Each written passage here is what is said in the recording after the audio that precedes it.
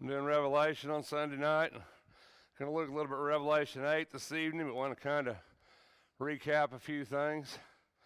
Got several people listening online to this study, so that's kind of interesting and hope they get something out of that. As we looked at Revelation 6, we looked at the scroll written on front and back, totally full. Uh, complete revelation of God. In other words, nothing else could be written upon it. The Lamb was the only one that was found worthy to open the book and had seven seals on this scroll. And as these seals were each opened, something was revealed. And as we went through those seals, we begin to see seven. Seven's a complete number, and we've talked about that in the book of Revelation, used 54 times. It's a number of completeness or perfection. So when we see that number, it means it's complete. So the scroll was the complete, the complete revelation of the book of Revelation. It was complete in its entirety. As we looked at these seals, we saw the scroll as Christ's eternal purpose for man's redemption. He was the only one that could open it, the only one that was found worthy. And as he opens this, we're introduced to what's going on throughout this book. It's the beginning of this revelation. No person in this vision, the book of Revelation, is identified as a living character. No specific historical event is disclosed. No definite point in time is recorded that would enable the reader to build his interpretation around any of these things. One must rely on John's assurance in 1 1, things must shortly come to pass. The general period of the church's beginning, which is where in this study we take the book of Revelation, particularly the Roman persecution against uh, Christianity. These are symbols, symbolic pictures. We must be careful about putting literal interpretation on them. We've talked about this a lot in this book as we went through this study what it says, what it means. We have to ask ourselves that continually as we go through this study. what is trying to be told by the pictures that are being painted? Visions are being interpreted, things are written that are not physically possible. And we see those type of things in the book of Ezekiel, uh, book of Isaiah. We see these type of things. Then as we started opening those seals, we saw the four horses of the apocalypse, we call them. Uh, the white horse, Christ going forth in the gospel, as symbolized in the scroll. Persecution of saints, which followed the preaching of the truth. The second horse was persecution. The third horse was discrimination in labor and business, which added to the suffering of Christians of that time. The fourth was judgments that fell upon society as a result of the rejection of the divine message. So these seals are revealing. The fifth seal is the souls of the slain under the altar. Said, wait a little while longer, and I will. And this will happen. And John, we use that idea of a little while. We see that a lot in the book of John. Uh, in John 7:33 in John's Gospel, a little while I'm with you. 7 to 12:35, a little while is the light among you.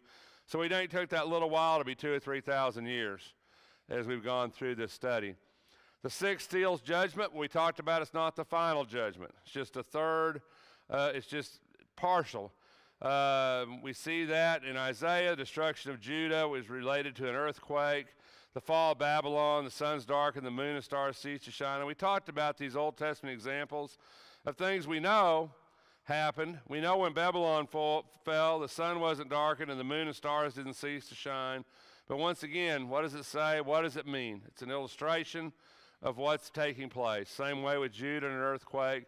Same way with the fall of Edom, heaven being rolled up like a scroll. We know literally that never happened. But we also know that Edom fell.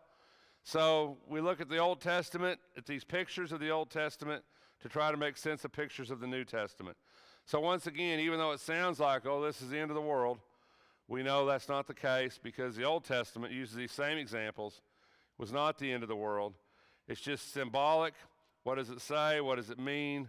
In Hosea 10, the fall of Samaria says the mountains were to fall on them. Of course, that never literally happened. Once again, it's figurative. So we see the sixth seal as being this judgment upon the earth. As we get through the sixth seal, then we begin, we have an interlude, we've talked about that period, the interlude where the winds are held back.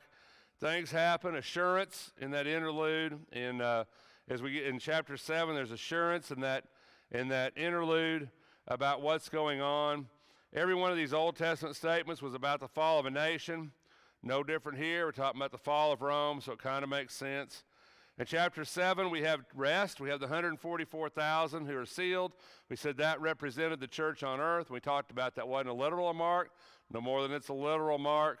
In the Old Testament, when they're sealed, it's a mark from God, a figurative mark, not literal. And then we also talked about the multitude who represent all those of this tribulation, even those that are not necessarily dead. So, ones that are still on the earth, they're still standing before God's throne, worshiping the same way we sit before God's throne and worship Him. And it talks about that whole multitude that's going to go through this persecution of about 270 years in, in Rome from, the, from uh, this time, or actually from the time of Nero all the way to the time uh, when Christianity will be accepted under Constantine. So there's a long period of time, a lot of people in that period. And that kind of just to recap it a little bit, get us up to tonight. I said I'll show you this a lot. We're not done showing it to you yet.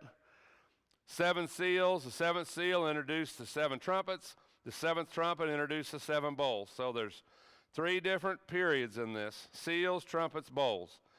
Every one of these has significance, but the seals are revelation, the trumpets are warning, the bowls are action. So as we move from the seals to the trumpets, the trumpets begin to come into a stage of warning. Now, in the seals, we have the four horsemen. We have the four trumpets first as we look at the trumpets. So these is kind of how the book of Revelation works.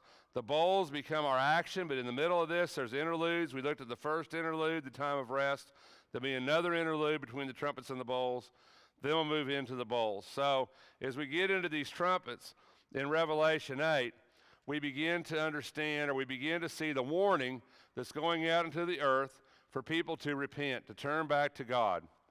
So God uses a lot of different things to warn us, doesn't he? He uses nature, he uses prophetic words, he uses a lot of different things around us to warn us of what's coming, what's impending. And it's no case in this. Jesus often told them, you know, to observe the signs or the sign of the time. Revelation 8 isn't a really long chapter of Revelation. Um, it says, when the Lord broke, the, the Lamb broke the seventh seal, I guess we could put Lord there, and we would be all right with that. When the Lamb broke the seventh seal, there was silence in heaven about a half hour. That's kind of significant in Scripture, especially with John. John said, My hour is not yet come, talking about Jesus. He also says, uses actually that term several different times. We look at concordance in the book of John. It's a pause, if you want to. It's a pause of effect. A lot of times when you're speaking, or sometimes when you preach, you'll pause for a minute. Pause for effect. The calm before the storm, maybe. That's what we call that, right? And it's no different here. The reason for the pause is for effect. It's a pause before the storm, a calm before we're going to make this revelation. He's broken the last seal. That's the end of the revelation. Now we're looking at warning. There were seven angels. Once again, the number seven used 54 times in the book of Revelation.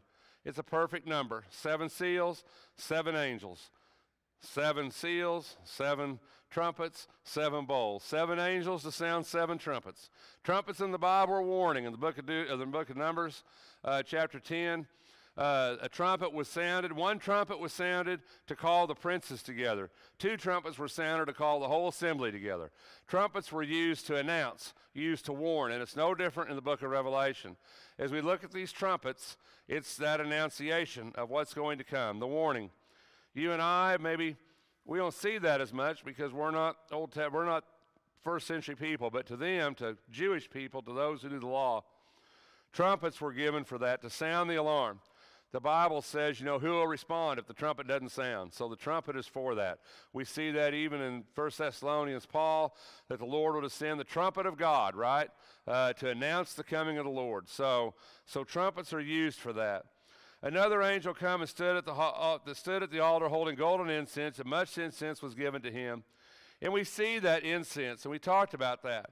Incense being the prayers of the saints, and more fire from the altar will be added to that. So, incense in the Bible, in the, in the book of Revelation, and not just in the book of Revelation, also in the Psalms, and we'll look at that a little bit. Incense becomes power, it becomes the prayer. So the prayers of us, the prayers of the saints at this time, we're in the throne room of God coming from these bowls, surrounding God, surrounding his throne. In Revelation 5 8, we looked at that. It says, each one holding a harp, a golden bowl of incense, which are the prayers of the saints. So we get this idea of the prayers being engulfing God in the throne room of God, the prayers going up, why are you being persecuted? How long will we be persecuted? Um, what are you going to do about the persecution? Would you help us with this persecution? You can imagine all the prayers going up to God at this time.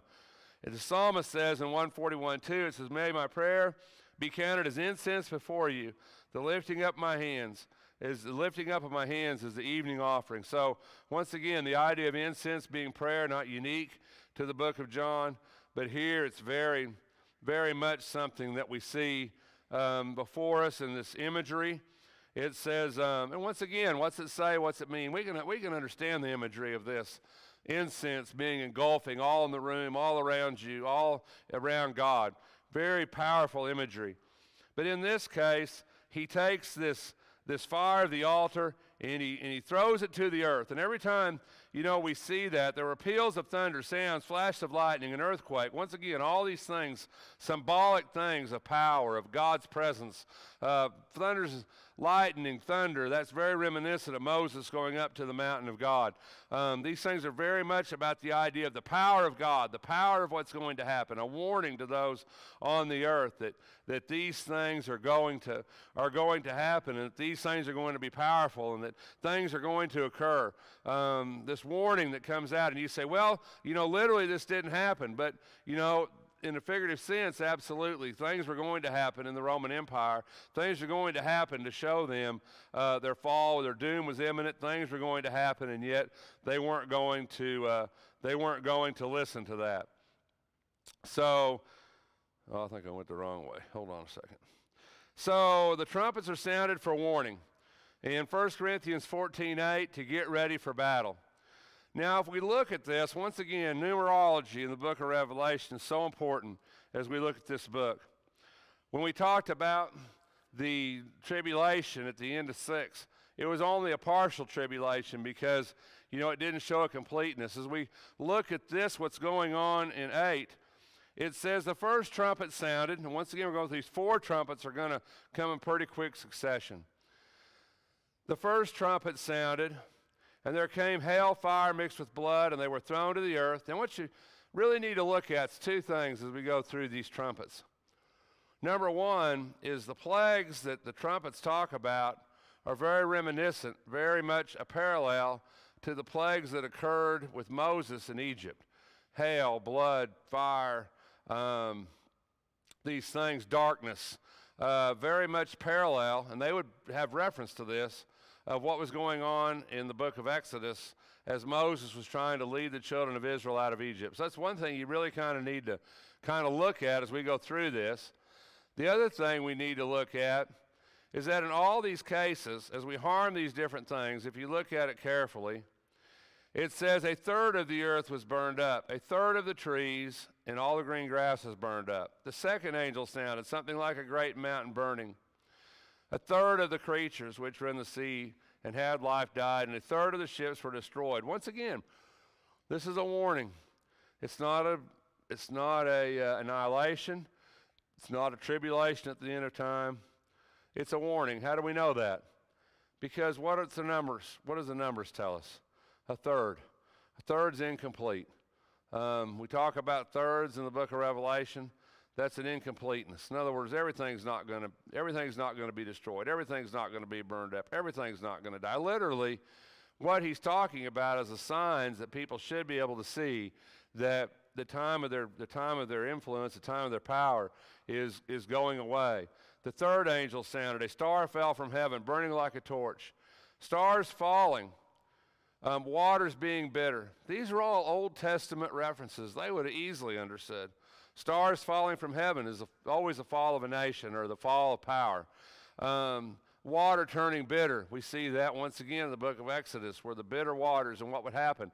A tree was thrown into the water to make it sweet as we go out of Exodus. In this case, the tree uh, that comes in here turns it bitter, and, it's, and he gives it a name called wormwood. So in this case, we see that a great star. The name of the star is called wormwood. A third of the waters became wormwood. Many men died. The fourth angel sounded, a third of the sun, a third of the moon, a third of the stars. Once again, very Old Testament. When we start seeing constellations being wiped out, constellations dying, it's the death of a nation. We see that over and over and over again in the Old Testament. We saw it in the beginning of the book of Revelation. Once again, this is a warning. This is what's going to happen. You need to look at the signs. So, as we begin to look at these trumpets, these trumpets being sounded, these warnings, they're physical calamities against the earth to offer a warning to repent. You know, it's no different than today, really, is it? If you really think about it. There's physical warnings on this earth. You know, we call them a lot of different things, don't we? Global warming, or, you know, maybe we call it oh, or just a million different ideas that we come up with, right? I think I read something the other day said, you know, the star's on an imminent thing that's going to destroy itself. I mean, you know, there's signs around us that scientists see now that say, well, this earth isn't forever. Well, you and I, we kind of knew that. Not really a news flash to us at all.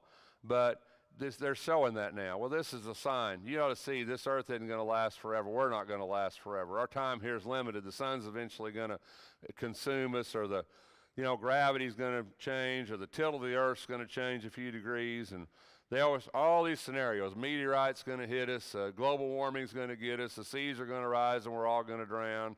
Um, we hear this every day, don't we? Almost hear it so much, we've almost quit paying attention to it, haven't we? Um, I have you, you know, to me, um, I hate to, hate to say this, but I'm an old man, and you know, I figure the Earth's got a few more years left in it, and I guess somebody else will worry about it. But, but the truth is, is that, is that we've heard this so much we almost don't listen to it anymore. It's the same way here. Things happen. If you, if you knew much about this area of the world, about Rome, Italy, um, it's very steeped in seismic activity. Almost all the temples over there have been destroyed because of earthquakes. Uh, over and over as we went through Italy, it'd be like, well, this temple would be here, but there was an earthquake and such and such. Mount Vesuvius erupted, covered up, uh, you know, covered up Pompeii. Seismic activity, all these things were common in that area. Look at the signs. Look at what's going on, he would tell them. Look at your chance to repent. Well, of course, they didn't listen no different than you and I or people in this world listen. But as we see this, it's all these different things that are happening. It's the earth, it's the sea, it's the inland water, and it's the heavens. So basically, everything conceivably, physically, is mentioned in these first four trumpets that we can see or look at with our eyes. And all these things that we look at and see are things that John's saying, look at the warning. Look at the warning. You know, you need to be able to look and see that this isn't forever. Uh, turn to God, turn towards God and repent. But of course they wouldn't. At the end of chapter 8, it says there was an eagle in mid heaven, mid heaven, which that would be what we could see, mid heaven. I heard an eagle flying in mid heaven saying with a loud voice, Woe, woe, woe to those who dwell on the earth because of the remaining blasts of the trumpet of the three angels who are about to sound. So as we go through these four, we see this damage, we see this going on. And then the eagle, who we see the face of the eagle often in the book, in the Bible, in Ezekiel, um, Isaiah, uh, Revelation. As we see the four beasts, one of them is always an eagle. The eagle's the magnificent, the, the king of the air. And so it would make sense. The eagle would be going through the earth saying, Woe, woe, woe, there's three more yet to come. Three more trumpet blasts yet to come. And of course, the last of those trumpet blasts is what's going to get us to the seven bowls. So, this is a chapter of warning to those who inhabit the earth that that it's imminent things are going to happen and they need to look at what's going on around them and they need to turn to God and they need to repent of what they're doing. But if we really look at Revelation 9, we're going to see that they didn't repent as we get into the bowls. And so now they're going to have to face the judgment of God since they failed to repent as they saw these signs around them. You know, some people say, well, there's eternal truths in the book of Revelation. Probably right. Probably true. You know, there's always signs around us, has been since the beginning of time. Jesus said there'll be wars and rumors of wars and earthquakes, right? And all these things will happen. It doesn't mean it's the end. You'll see all these will be wars and rumors of wars, he says, and yet it doesn't mean it's the end. But all these things that go on around us are a sign, or should be a sign to us, that number one, this earth isn't going to last forever. Um, I think we see that. Number two, because of that, we should be looking for an eternal home, not a physical home as here on earth, and that we should repent and turn towards God. No different than what he's telling these people here. The same message still applies to us today. And yet, like I say, we've become numb. We don't even listen or look to what we see because we've come numb to what's going on around us. So maybe the message is eternal. I'm sure it is, but I'm sure this message is particularly to those in Rome at this time, saying you guys need to look at what's going on. You need to turn back to God. Of course, they're going to fail to do that. We got three more trumpets to blast. We got an interlude. We got seven bowls. We got a long ways to go.